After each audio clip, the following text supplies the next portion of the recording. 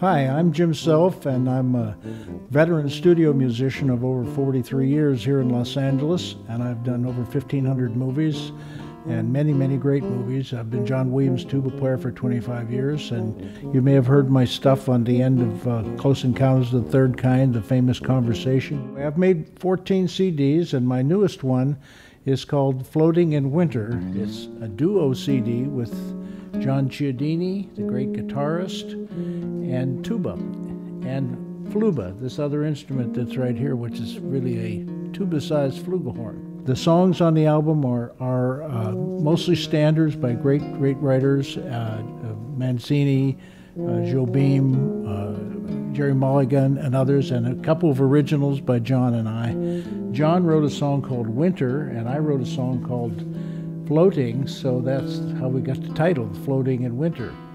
And uh, it's just tuba and guitar, or fluba and guitar, and uh, it's, it's he and I just have this chemistry together that we made a lot of really good music, and uh, it's a very sensitive album. I hope you'll check it out.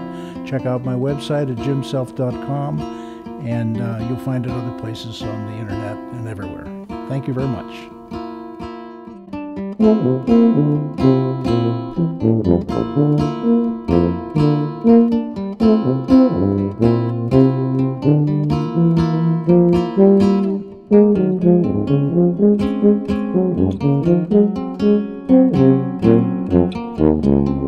Thank